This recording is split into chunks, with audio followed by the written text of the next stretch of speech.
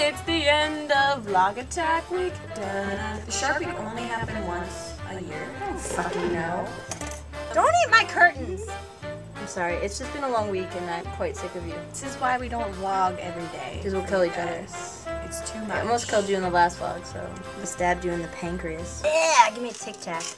How's my breath?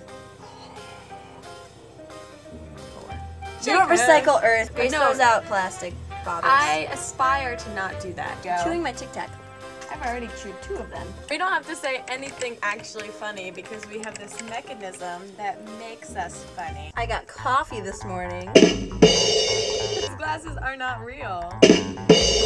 I bought my headband at H&M.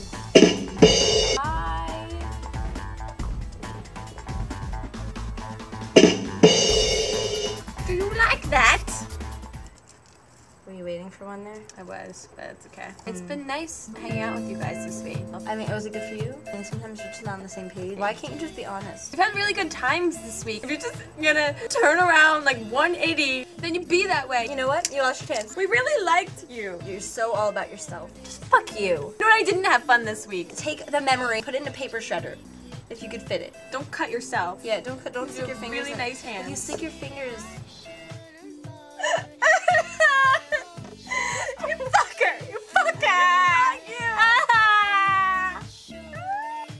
I don't know if I like where this vlog is going. I look like a member of one of those. Muslim communities. or whatever you were gonna say.